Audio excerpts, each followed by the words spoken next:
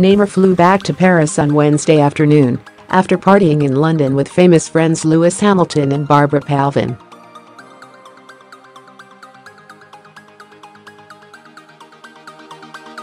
The world's most expensive footballer hit the town on Monday night with F1 ace Hamilton and Hungarian supermodel Palvin, who reportedly left the apartment where Neymar was staying at 5 a.m.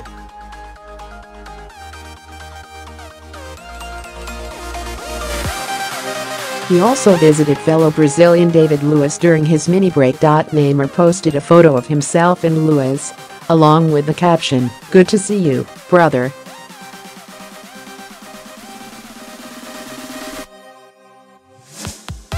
Chelsea defender Luiz was spotted wearing a cast on his wrist after being slammed into advertising hoardings by Alexandre Lacazette during Sunday's 0-0 draw with Arsenal.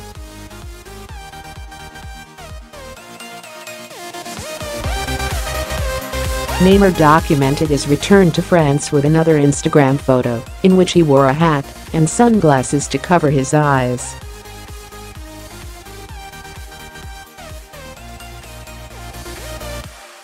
Brazil captain Neymar will soon switch his attention to PSG's clash with Montpellier on Saturday, when the League One Giants will be aiming to record their ninth straight win this season.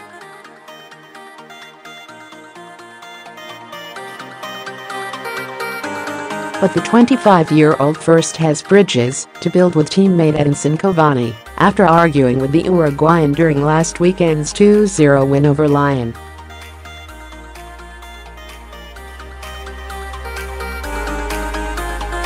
The pair rowed over who was on penalty duties, with Cavani winning the battle, but not the war as he took the spot kick, but failed to convert it.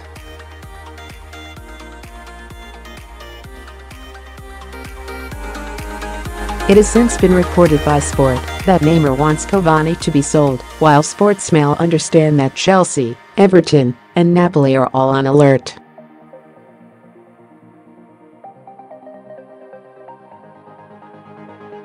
According to L'Equipe, PSG manager Unai Emery, sporting director Antero Henrique and team coordinator Maxwell have planned a meeting to discuss the best course of